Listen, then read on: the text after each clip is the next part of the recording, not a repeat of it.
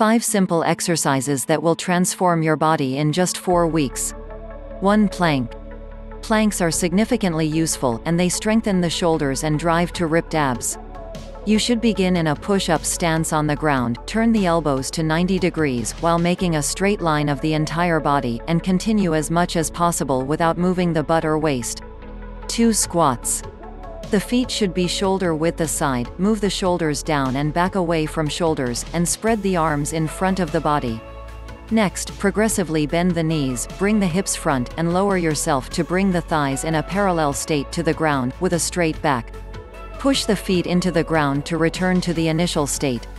Squats strengthen your core, support the fat-burning process, and build the hams, quads, and calves. 3 Bird Dog. You should be in a plank pose, and prop yourself on the knees and hands. Next, extend one leg and the opposite arm concurrently, and keep the body balanced. Wait for a few seconds, reverse to the first state, and change sides. This exercise will strengthen the abs and the lower back. 4 Lying hip raises.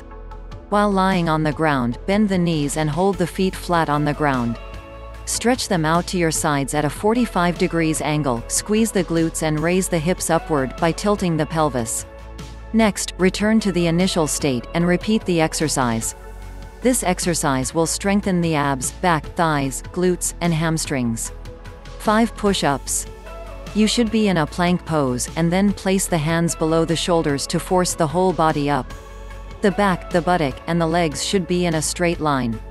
Next, return to the ground and repeat. Push-ups target all body muscles so that they will strengthen the whole body.